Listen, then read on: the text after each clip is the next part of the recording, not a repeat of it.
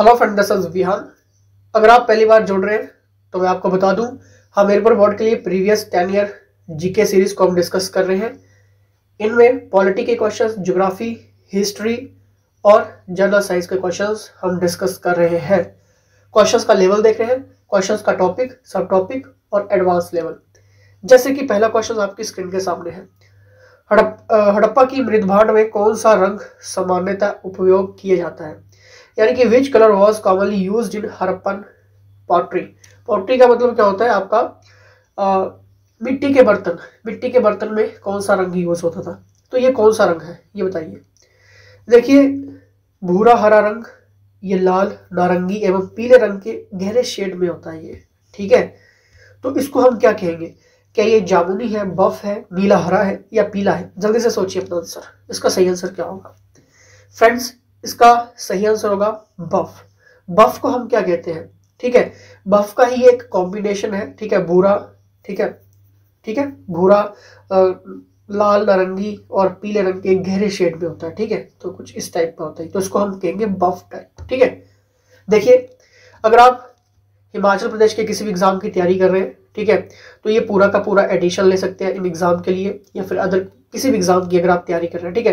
Crash courses मिलते हैं, ठीक है? Video courses class recording class आपको इसमें मिलती है, क्योंकि सबसे बेस्ट तरीका यही रहता है। लाइव क्लासेस में क्या होता है कि एक घंटे की क्लास है तो दो घंटा चला जाएगा, ठीक है? क्योंकि आधी तो उसमें हेलो हाई और ये सब टाइम वेस्ट होता है, ठीक है? प्रमोशंस ये वो। तो रिकॉर्डिंग क्लासेस आप अपने टाइम के अकॉर्डिंग जब मर्ज़ी अटेंड कर सकते हैं। लेकिन साथ में देखिए इसके साथ साथ आपको एडिशंस भी मिलते हैं, जिसमें आपके नोट्स एमसीक्यूज है जीके है बेस्ड एमसीक्यूज है प्रीवियस पेपर एनालिसिस एमसीक्यूज है कंप्लीट सब्जेक्ट है, ठीक है एमसीक्यूज एक्सपेक्टेड है। क्या ये सब कुछ क्लियर करने के बाद एग्ज़ाम क्लियर हो जाएगा? नहीं होगा।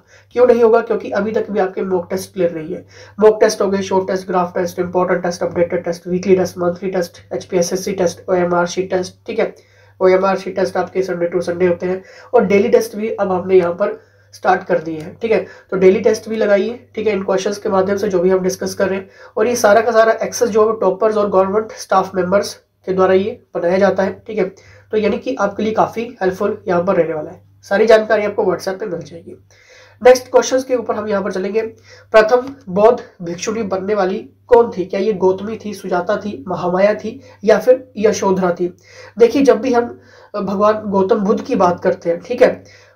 पाँच साल के बाद, ठीक है, पाँच साल के बाद उन्होंने क्या किया कि कुछ पुरुषों को और महिलाओं को नियुक्त किया किस लिए? नन बनने के लिए, ठीक है? तो देखिए, आपको तो ये क्लियर है कि भगवान बुद्ध की जब भी हम बात करते हैं, ठीक है तो उनका उनका जो जन्म था वो कहाँ पे हुआ था? लुम्बिनी में हुआ था। कहाँ पे हुआ था? लुम्बनी में हुआ था। कब हुआ था? पाँच ईसा पूर्व में हुआ था, ठीक है? अब देखिए भगवान बुद्ध की बात हो रही तो अब क्वेश्चन थोड़ा सा एडवांस लेवल पे जा चुका है जहाँ पे हम कई बार एग्जामिनर कुल पूछ ले, लेता है ठीक है या फिर वंश पूछ लेता है ठीक है। तो देखिए इनका जो इक्ष्बाकु वंश था ठीक है वंश इसको हम क्षत्रिय वंश भी कहते हैं ठीक है इक्ष्बाकु ठीक है। साथ साथ में आप लिख सकते हैं क्योंकि एग्जामिनर पूछ सकता है। इक्ष्वाकु वंशी क्षत्रिय ठीक है। अगर हम कुल की बात करें तो कुल भी आपको याद रखना है शाक्य कुल, ठीक है? और किसके घर पे हुआ था ये? राजा सुशोधन के घर में हुआ था। कहाँ पे हुआ था? राजा सुशोधन। साथ साथ में नोट डाउन करते रहिए क्योंकि ये इंपॉर्टेंट है, ठीक है? राजा सुशोधन के घर पे हुआ था। भगवान बुद्ध की बात हो रही है तो उनकी माँ का नाम क्या था? उनकी माँ का नाम था महामाया, ठीक है? क्या नाम था? महामाया नाम था उनका, ठीक है? अब देखिए महामाया ये कौन से वंश की थी? ये थी आपकी कोलिय वंश से। ठीक है, कौन से वंश थी? कोलिय वंश ठीक है? कोलिय वंश थी, ठीक है? अब देखिए, ये भी आपको क्लियर होगा कि भगवान बुद्ध का जब जन्म हुआ तो उनके सात दिन के बाद ही ये महामाया, जो उनकी माता थी, उनकी वो डेथ हो गई थी, ठीक है? अब देखिए, उनका जो लालन पोषण था भगवान बुद्ध का, ठीक है, वो किसने किया था? उनकी मौसी जी ने किया था, ठीक है? मौसी जी का नाम क्या था? महाप्रजापति गौतमी। क्या नाम था? महाप्रजापति गौतमी, ठीक है?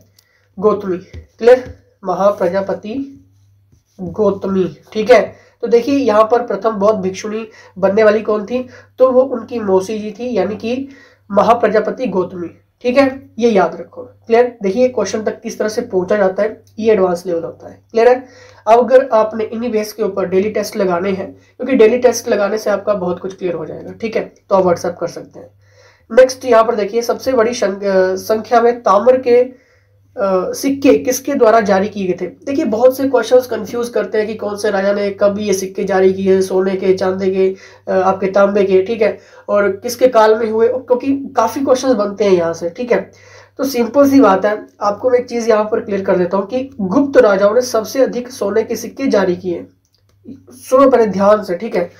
गुप्त गुप्त राजाओं ने सबसे अधिक सोने के सिक्के जारी किए।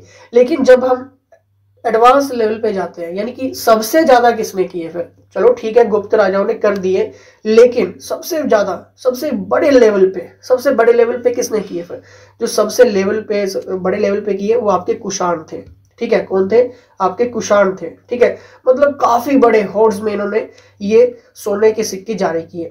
अब देखिए कुशाणों के सिक्के कैसे होते थे? आपके ये सोने के सिक्के होते थे और कई तांबे के सिक्के इन्होंने जारी किए हैं कुशाणों ने ठीक है?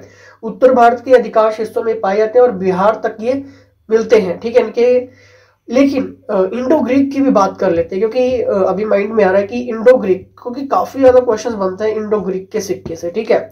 देखिए इंडो ग्रीक के सिक्के किस टाइप के होते थे? काफ़ी सुंदर होते थे, इनमें कलाकृतियाँ जो होती थी, वो काफ़ी विशेषताएँ उनकी होती थी, काफ़ी कुछ दिखाती थी वो, ठीक है? मान लीजिए ये सिक्का है, ठीक है? एक तरफ़ राजा का चित्र होगा, ठीक है? और दूसरी पिछली रिवर्स साइड में किसका होगा? या फिर किसी देवता का वो रिप्रेजेंट करेंगे अपने देवता को, ठीक है? पिछली साइड तो कुछ इस टाइप का ये इंडो ग्रीक के सिक्के रहते थे, ठीक है? तो देखिए, सबसे बड़ी संख्या में यही पूछा गया कि क्वेश्चन देखिए कि सबसे बड़ी संख्या में ताम्र के सिक्के किसके द्वारा जारी किए गए? कुशाणों के द्वारा जारी किए गए थे। क्लियर है नेक्स्ट यहाँ पर देखिए, दर्शन शास्त्र की कौन सी शाखा ईश्वर के अस्तित्व को मान्य नहीं करती है? देखिए, जब भी हम बुद्धिस्ट फिलोसफी की बात करते हैं, ठीक है तो सांख्य प्रणाली में ईश्वर में विश्वास शामिल जो था, वो नहीं था, ठीक है। आपका इसका सही आंसर होगा सांख्य। देखिए, ये दो निकायों के अस्तित्व को मानती थी, ठीक है? एक आपका कौन था? एक आपका एक आपका था टेम्पोरल बॉडी ठीक है? टेम्पोरल बॉडी जिसको हम कहते हैं, जिसको हम कहते हैं लौकिक शरीर, हिंदी में कहें तो लौकिक शरीर, ठीक है?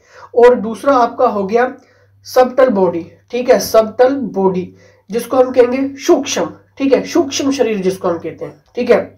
यानी कि इसका मेन मतलब क्या था कि मृत्यु के बाद क्या होता? है एक आत्मा दूसरे में प्रवेश करती है। मतलब जैसे ही आत्मा, यानी कि शरीर खत्म, पहला शरीर खत्म हुआ, उसके तुरंत बाद आत्मा नए शरीर को धारण करती है, ठीक है? ये इस टाइप के इसमें विश्वास करता है, यानी कि सांख्य, ठीक है? यानी कि आत्मा जो है, वो अजर अमर है नाशवान तो यानी कि मृत्यु तो सिर्फ़ शरीर की है, ठीक है? तो सांख्य प्रणाली आपको क्लियर हो गया बुद्धिस्ट फिलोसफी दो बॉडीज मैंने आपको बता दिया टेम्पोरल बॉडी यानी कि आपका लौकिक शरीर, सूक्ष्म शरीर यानी कि सबटल बॉडी ठीक है? इसके ऊपर ये था, बाकी आपको ज़्यादा डीप में नहीं जाना है, ठीक है? तो चलिए नेक्स्ट क्वेश्चन की तरफ़ हम यहाँ पर बढ़ेंगे। किसने कहा था कि किंगशिप किसी किंगशिप को नहीं जानती है, ठीक है?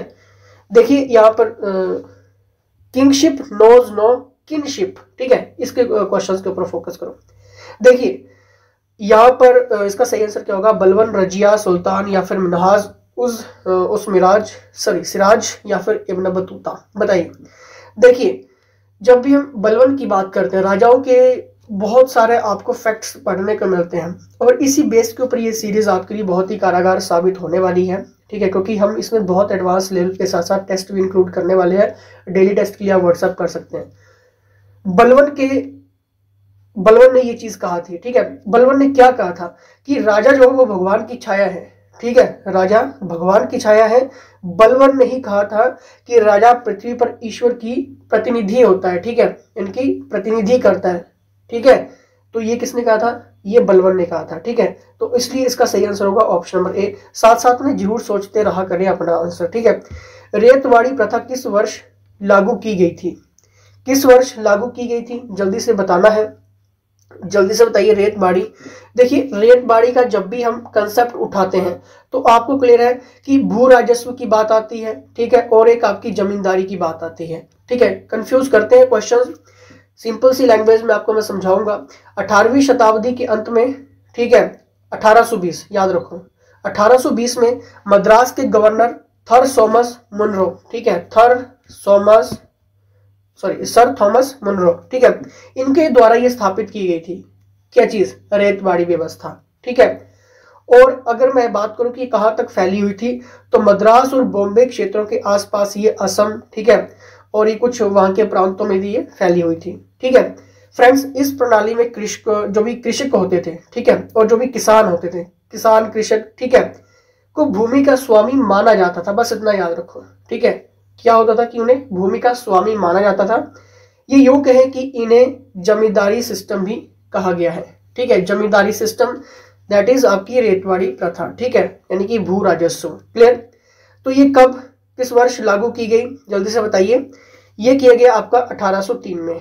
ठीक है, किस सॉरी सॉरी ये इसका सही आंसर होगा 1820 में। ठीक है ऑप्शन नंबर बी ठीक है 1820 में। क्लियर चलिए नेक्स्ट हम यहाँ पर बात करेंगे। ब्रिटिश के विरुद्ध, ब्रिटिश के विरुद्ध सर्वप्रथम निम्नलिखित में से किसने विद्रोह किया था? क्या ये संथाल, रामपास या फिर मुंडाओ खासियो, किसने किया था? जल्दी से बताना है। देखिए, इसका सही आंसर क्या होगा? जल्दी से सोचिए। ब्रिटिश के विरुद्ध सर्वप्रथम निम्नलिखित में से किसने विरोध विरुद्ध विद्रोह किया था? संथाल, रामपास मुंडाओ या फिर खासियो ये किया था आपका खासियो ने ठीक है? इंपॉर्टेंट है। और देखिए, यहाँ से क्वेश्चन जो बनेगा वो मंगल पांडे से रिलेटेड हो सकते हैं कि क्वेश्चंस बन जाए आपके एग्ज़ाम में। ठीक है? डेफिनेट बनेंगे। ठीक है? नेक्स्ट देखिए यहाँ पे, लाला लाजपत राय को किसके विरुद्ध विरोध करने के लिए मरते दम तक पीटा गया था? ठीक है? कब? बताइए। जलियावाला बाग जनसंहार, गांधी, इरवन संधि साइमन कमीशन या फिर इनमें से कोई नहीं, बताइए। जल्दी से। सिंपल सी बात है, जल्दी से। ऑप्शन नंबर सी, यानी कि साइमन कमीशन का विरोध करने के लिए उन्हें मरते दम तक पीटा गया था, ठीक है? नेक्स्ट यहाँ पर देखेंगे। कैमूर की पहाड़ियाँ संबंधित हैं। देखिए, क्या ये सतपुड़ा विंध्य अरावली या फिर इनमें से कोई नहीं? देखिए, मैं आपके ज़रिए समझाने की कोशिश करूँगा। आपका यहाँ पर विंध्या है। कहाँ पे है? विंध्या रेंज, ठीक है? और बाकी भी आप देख सकते हैं। ठीक है?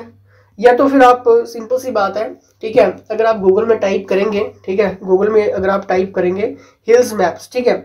इंडियन रेंजेस मैप ठीक है? हाईएस्ट पीक का मैप ठीक है? तो आपको ये इस टाइप का मैप देखने को मिल जाएगा, ठीक है? ताकि आप और ज़्यादा यहाँ पर अकॉर्डिंग टू मैप समझ पाएँगे, ठीक है? तो यहाँ पर विंध्या रेंज होगा, ठीक है? फ्रेंड्स कैम्यूर हिल जो है, जिसे कैम्यूर रेंज भी कहा जाता है ठीक है? विंध्य रेंज का ये पूर्वी भाग मध्य प्रदेश के जबलपुर ज़िले के कंटकी से शुरू होता है ये, ठीक है? तो ये विंध्य रेंज क्लियर चलिए तो इसका सही आंसर क्या होगा? कैमूर की पहाड़ियाँ संबंधित हैं आपके विंध्य श्रेणी से क्लियर नेक्स्ट यहाँ पर देखिए, हुंजा किस नदी की सहायक नदी है? किस नदी की सहायक नदी है हुंजा? बताना है। जल्दी से देखिए इसका सही आंसर क्या होगा। फ्रेंड्स हुंजा नदी की बात यहाँ पर हो रही है तो बता दीजिए। इसका सही आंसर है ऑप्शन नंबर ए, यानी कि सिंधु नदी की सहायक नदी, ठीक है? चलिए नेक्स्ट यहाँ पर देखिए। नेक्स्ट यहाँ पर, वायुमंडल की कौन सी परत वायु वायुयान की उड़ान के लिए आदर्श परिस्थिति प्रदान करती है? यानी कि जहाँ पर कौन सी परत में, ठीक है लेयर में वायुयान उड़ते हैं? क्या ये आपका ट्रॉफोस्फेयर है, स्ट्रेटोस्फेयर है, आइनोस्फेयर है, एक्सोस्फेयर है? शौभ मंडल समताप मंडल, आयन मंडल या फिर बाह्य मंडल? जल्दी से देखिए। देखिए इसका सही आंसर होगा ऑप्शन नंबर बी यानी कि स्टेटोस्फेयर फ्रेंड्स अगर ज्योग्राफी में कहीं भी प्रॉब्लम आ रही है तो बहुत ही कंसेप्चुअल क्लासेस स्टार्ट हैं, ठीक है? रिकॉर्डिंग फॉर्म में आप ले सकते हैं। मतलब अगर आपने अटेंड कर ली, कुछ भी छूटेगा नहीं, ये तो मैं आपको प्रॉमिस दे रहा हूँ यहाँ पे, ठीक है? तो व्हाट्सअप करके आप ये सारी चीज़ें एक्सपर्ट्स के अंदर ले सकते हैं। नेक्स्ट देखिए यहाँ पे, कर्नाटक के रायचूर ज़िले में हट्टी किस लिए प्रसिद्ध है? इंपॉर्टेंट है। क्या ये स्वर्ण क्षेत्रों के लिए, कोयला क्षेत्रों के लिए कॉपर क्षेत्रों के लिए या फिर लोह, अयस्क निक्षेपों के लिए? किस लिए प्रसिद्ध है ये कर्नाटक में, रायचूर ज़िले में हट्टी? किस लिए प्रसिद्ध है? जल्दी से बता दीजिए। ठीक है? दोस्तों, इसका सही आंसर होगा, ये है आपके गोल्ड फ़ील्ड के लिए, ठीक है? स्वर्ण क्षेत्रों के लिए ये हट्टी प्रसिद्ध है, ठीक है? रायचूर ज़िले में, कर्नाटक के, ठीक है? चलिए नेक्स्ट यहाँ पर देखिए। जेकवाड़ी बाँध किस नदी पर निर्मित किया गया है? क्या ये कृष्णा, गोदावरी, कावेरी या फिर घट प्रभा जल्दी से। जेकवाड़ी बाँध।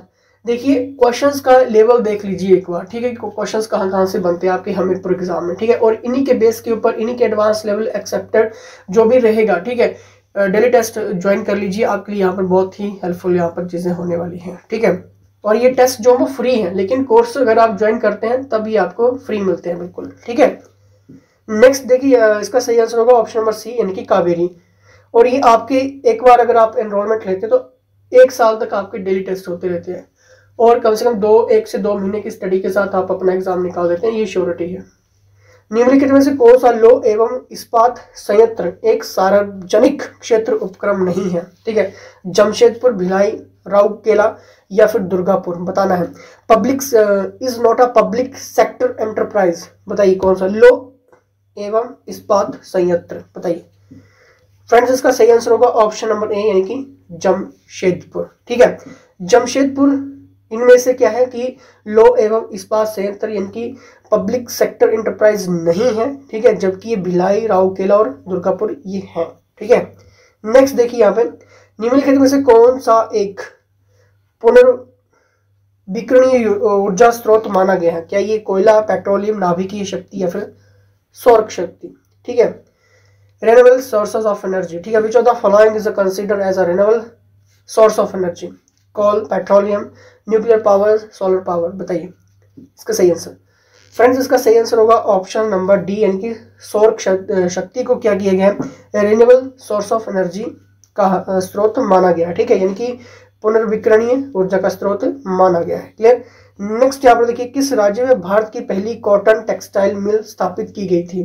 गुजरात, महाराष्ट्र, तमिलनाडु या फिर पश्चिम बंगाल? बताइए इसका सही आंसर क्या होगा? कहाँ पे की गई थी? फ्रेंड्स पहली कॉटन टेक्सटाइल जो थी वो आपके पश्चिम बंगाल में स्थापित की गई थी। ठीक है? नेक्स्ट यहाँ पर देखिए नेक्स्ट क्वेश्चन आ गया है।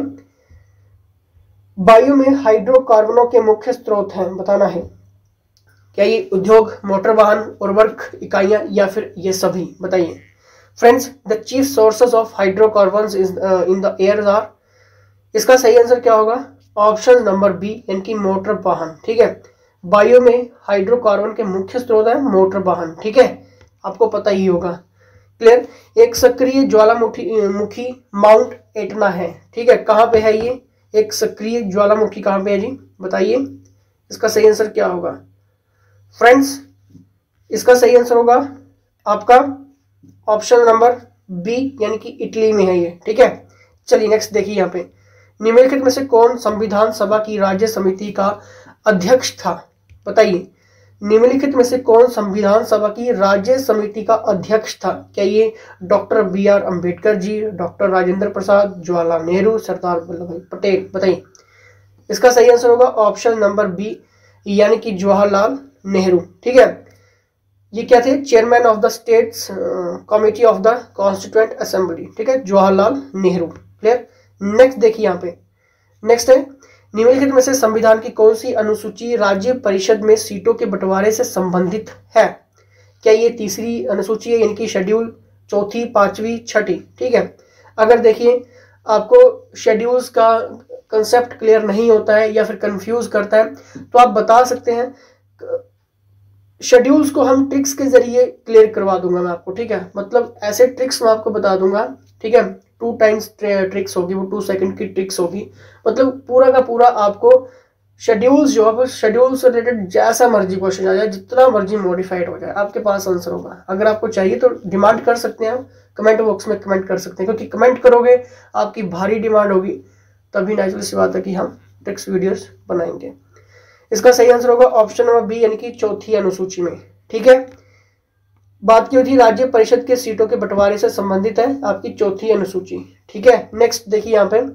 निम्नलिखित में से निम्नलिखित में से किस एक राज्य में राज्यपाल के लिए जनजाति मामलों के एक प्रभारी मंत्री की नियुक्ति करना संवैधानिक अनिवार्यता नहीं है? ठीक है वेरी इंपॉर्टेंट क्वेश्चन है ये, बताइए, क्या ये बिहार, मध्य प्रदेश, ओडिशा या फिर झारखंड? निम्नलिखित में से एक राज्य में राज्यपाल के लिए जनजाति मामलों के एक प्रभारी मंत्री की नियुक्ति करना संवैधानिक अनिवार्यता नहीं है तो इसका आंसर रहेगा ऑप्शन नंबर एन की बिहार में। क्लियर नेक्स्ट यहाँ पर देखिए, निम्नलिखित में से किस एक राज्य में विधान परिषद नहीं है? बताना है, नहीं है। विधान परिषद, बिहार, महाराष्ट्र, राजस्थान, उत्तर प्रदेश। सभी को आता होगा इसका आंसर। बताइए, इसका सही आंसर ऑप्शन नंबर सी यानी कि राजस्थान में। ठीक है? नेक्स्ट यहाँ पर देखिए नेक्स्ट क्वेश्चन है। म्यूचुअल फंड एवं स्टॉक मार्केट के लिए आधारभूत रेगुलेटरी अथॉरिटी निहित है। ठीक है? यहाँ पर बात हुई है म्यूचुअल फंड और स्टॉक मार्केट के रिगार्डिंग ठीक है? क्या ये भारत सरकार के पास है आरबीआई के पास है, सेबी के पास है या फिर स्टॉक एक्सचेंज के पास है? जल्दी से देखिए इसका सही आंसर फ्रेंड्स इसका सही आंसर होगा ऑप्शन नंबर सी यानी कि सेबी के पास है, ठीक है? म्यूचुअल फंड और स्टॉक मार्केट के लिए जितनी भी आधारभूत, जितनी भी रेगुलेटरी अथॉरिटीज है, वो सिर्फ़ सेबी के पास है, ठीक है? नेक्स्ट यहाँ पर देखिए ओपीईसी का मुख्यालय कहाँ पे है? बताइए कहाँ पे है ओपीईसी का मुख्यालय? जल्दी से। फ्रेंड्स ओपीईसी का मतलब क्या होता है? Organisation of the petroleum exporting countries ठीक है? और ये आपका लोकेटेड है बियना में। कहाँ पे है? बियना में है। ठीक है? लेकिन इसका बियना में कहा जैसे है ये? ठीक है? ये आपका ऑस्ट्रिया में है। कहाँ पे है? ऑस्ट्रिया में है। ठीक है? बियना में। ठीक है? चलिए नेक्स्ट यहाँ पर देखिए। किस देश की आर्थिक समृद्धि? ठीक है? समृद्धि का सर्वाधिक उपयुक्त माप है इसकी जीडीपी एनपी या फिर प्रति व्यक्ति वास्तविक आय ठीक है रियल इनकम ठीक है, या फिर इनमें से कोई नहीं। 145 का देखिए। किस देश की आर्थिक समृद्धि जो है, वो किसके ऊपर माप है इसकी? ठीक है जीडीपी देखा जाएगा एम एन पी या फिर प्रति व्यक्ति वास्तविक आय या फिर इनमें से कोई नहीं। देखिए, इसका सही आंसर होगा ऑप्शन नंबर सी यानी कि प्रति व्यक्ति वास्तविक आय यानी कि रियल इनकम ठीक है, इसके ऊपर। ठीक है? चलिए नेक्स्ट यहाँ पर देखिए। एक प्रवाही तरल में घर्षण कहलाता है। क्या ये friction in following fluid is called घनत्व, पृष्ठ, तनाव, श्यामता या फिर इनमें से कोई नहीं। ठीक है? बताइए। यानी कि विस्कोसिटी ऑप्शन नंबर सी इसका सही होगा। ठीक है? Viscosity is the right answer यानी कि श्यामता। ठीक है? चलिए नेक्स्ट यहाँ पर देखिए इंपॉर्टेंट क्वेश्चंस इसका सॉरी सॉरी सॉरी सॉरी मैं आपको एक बार फिर से क्लियर करवा देता हूँ। एक सेकंड एक सेकंड देखिए, यहाँ पर बात हो रही थी the friction is a producer called इसका सही आंसर होगा ऑप्शन नंबर हाँ ठीक है. विस्कोसिटी ही होगा, ठीक है. नेक्स्ट यहाँ पर देखिए. Velocity of sound is test least in ठीक है. Velocity of sound is least in ठीक है. ध्वनि का वेग अल्पतम है. क्या ये रबर में कार्बन डाइऑक्साइड में ऑक्सीजन में या फिर वायु में? बताइए इसका सही आंसर देखिए velocity of sound is least in, ठीक है, रबर में, ठीक है। चलिए नेक्स्ट यहाँ पर देखिए इसका नेक्स्ट क्वेश्चन है यहाँ पर, ठीक है। नेक्स्ट है यहाँ पर which type of lens is use in correcting astigmatism यानी कि देखिए, दृष्टि वैषम्य को दूर करने के लिए किस प्रकार के लेंस का प्रयोग होता है, ठीक है। क्या ये कॉन्केव है कॉन्वेक्स है सिलेंड्रिकल है, या फिर ऑल ऑफ़ दीज है, बताइए। बताइए इसका सही आंसर क्या होगा। दोस्तों इसका बिल्कुल सही आंसर होगा। ऑप्शन नंबर सी यानी कि सिलेंड्रिकल लेंसेज यहाँ पर बात हुई थी कोरेक्टिंग एस्टिगमेशन यानी कि दृष्टि वैषम्य को दूर करने के लिए किस प्रकार के लेंस का यूज़ होगा। The right answer is option number C यानी कि सिलेंड्रिकल लेंसेज ठीक है? नेक्स्ट यहाँ पर देखिए नेक्स्ट क्वेश्चन है यहाँ पर। सोडियम लॉरेल सल्फेट एक सामान्य है। क्या है ये? कांच है सीमेंट है प्लास्टिक है डिटर्जेंट है। बताइए इसका सही आंसर क्या होगा? जल्दी से सोचिए इसका सही आंसर क्या होगा। देखिए, सोडियम लॉरेल सल्फेट एक सामान्य क्या है? जल्दी से देखिए एक एक क्या है? डिटर्जेंट है, ठीक है? नेक्स्ट यहाँ पर देखिए, दूध एक है, क्या ये पायस है? कोलाइडी विलियन है कोलाइडी तंत्र है या फिर हाइड्रोफिलिक कोलाइड है? बताइए, क्या है? दूध एक क्या है? जल्दी से देखिए इसका सही आंसर। देखिए, ये एक एमोशन है, ठीक है? यानी कि पायस है ये, ठीक है? चलिए नेक्स्ट यहाँ पर देखिए। अधिक पके फलों में रस का जेली में परिवर्तन होने के कारण उसमें मौजूद ग्लाइकोजन सेलोज या फिर गम या फिर पिक्रिक अमल क्या होता है? बताइए, अधिक पके फलों में रस का जेली में परिवर्तन होने के कारण उसमें क्या होगा? याद रखो, इसमें पिक्रिक अमल होगा, ठीक है? Option number D is the right answer clear next देखिए, यहाँ पे निम्नलिखित में से कौन सा एक सर्प, विषहीन सर्प है? कौन सा है? क्या ये रेड सर्प है, रेटल है सी है, या फिर हिमालय पिट पाइपर है? बताइए कौन सा है? जल्दी से देखिए इसका सही आंसर दोस्तों, इसका सही आंसर होगा रेड सर्प जो है, वो एक ऐसा सर्प है जो विषहीन है, ठीक है? नेक्स्ट यहाँ पर देखिए, एक सेक्स जनित रोग सामान्यतः ब्लीडर्स रोग से जाना जाता है, ठीक है? देखिए, जितने भी डिसीज क्वेश्चन होते हैं या फिर प्रोटीन्स टाइप क्वेश्चन हो गए वाइटामिन क्वेश्चन हो गए, ठीक है? बॉडी से रिलेटेड जो भी ऑर्गन्स टाइप क्वेश्चन हो गए डेली साइंस में, यहाँ से क्वेश्चन एग्जामिनर ज़रूर पूछेगा। और अभी मैं आपको क्लियर करवा देता हूँ कि अगर आप कोर्सेज ज्वाइन करते हैं तो ये सारे के सारे एडिशन आपको और मिल जाते हैं, ठीक है? लेकिन अगर आपने हमीरपुर बोर्ड का एग्ज़ाम क्लियर करना तो सिंपल सी बात है ऑब्जेक्टिव के साथ एमसीक्यूज अच्छे से रीड कर लो टेस्ट लगा लो, हर एक सेगमेंट के ऊपर टेस्ट लगा लो और एडवांस लेवल देख कर चले जाओ, ठीक है?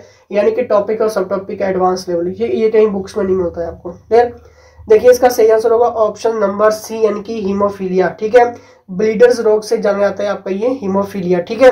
जो भी आपका सेक्स जनित रोग होते हैं, ठीक है? ये आपके हीमोफीलिया ब्लीडर रोग से ये जाना जाता है, ठीक है? नेक्स्ट यहाँ पर देखिए घेरे सागर में एकमात्र प्रकाश स्रोत है। बताइए क्या है इसका सही आंसर इसका सही आंसर क्या होगा? जल्दी से जल्दी से देखिए इसका सही आंसर क्या होगा।